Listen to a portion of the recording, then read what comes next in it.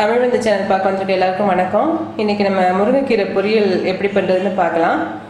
முருங்கைக்கீரையில் வந்து அயன் சத்து ரொம்ப அதிகம். அதனால அனிமிக்காக இருக்கவங்களுக்கு இதை கொடுத்தா ரொம்ப நல்லது.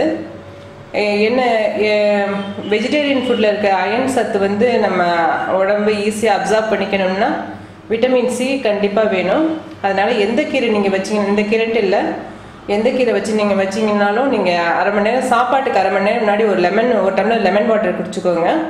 அப்படிங்கும்போது லெமன் வாட்டரில் இருக்க விட்டமின் சி வந்து இந்த அயன் சத்து அப்சர்வ் பண்ணுறதுக்கு ஹெல்ப் பண்ணும். இப்போ நம்ம எப்படி பண்ணுறதுன்னு பார்க்கலாம்.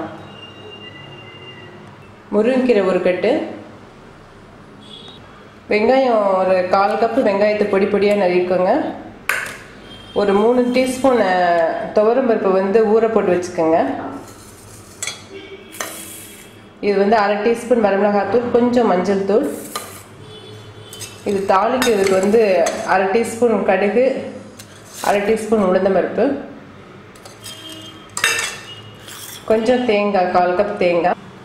முதல்ல இந்த ஊற போட்டு வச்சுருக்க துவரம்பருப்பை வந்து குக்கரில் போட்டு ரெண்டு சத்தத்துக்கு வச்சுக்கலாம்.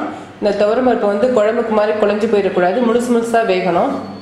நல்லா வெந்திருக்கணும் அதே சமயம் நல்லா மு முழுசு முழுசாக இருக்கணும் மசிஞ்சு போயிடக்கூடாது. இதை ரெண்டு சத்தத்துக்கு வச்சுக்கலாம்.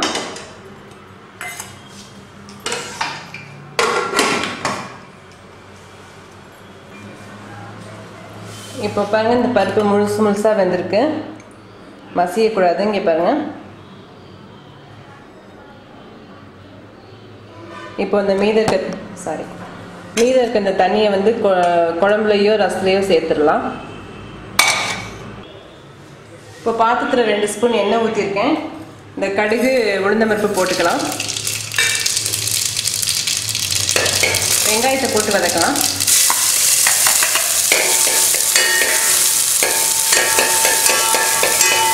இப்போ இந்த கீரையை போட்டுக்கலாம்.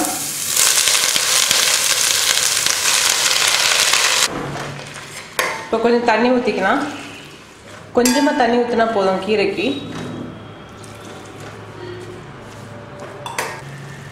இப்போ பார்த்தீங்கன்னா கீரை முக்கால் பாகம் வெந்துருச்சு. இப்போ இந்த மிளகாத்தூளையும் மஞ்சள் தூளையும் போட்டுக்கலாம்.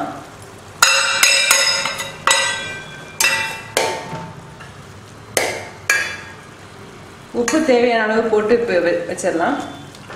இந்த தண்ணி நல்லா வத்திடுச்சுன்னா அந்த கீரை ரெடி ஆயிடுச்சு. தண்ணி இப்போ நல்லா வத்த விட்டுருங்க. எக்ஸ்ட்ரா இருக்க தண்ணியை.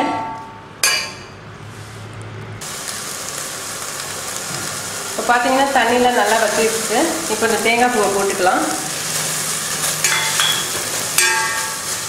துவரம்பருப்பு போட்டுக்கலாம். இந்த துவரம்பருப்பும் தேங்காயும் வந்து இந்த கீரையோட கசப்பை கொஞ்சம் எடுத்துரும். அதனால இதை அவாய்ட் பண்ணாதீங்க. கண்டிப்பாக சேர்த்துக்கோங்க. இப்போ இதை சர்வ் பண்ணலாம். நீங்கள் இதை ட்ரை பண்ணி பார்த்துட்டு எனக்கு உங்களோட கமெண்ட்ஸை சொல்லுங்கள் தேங்க்யூ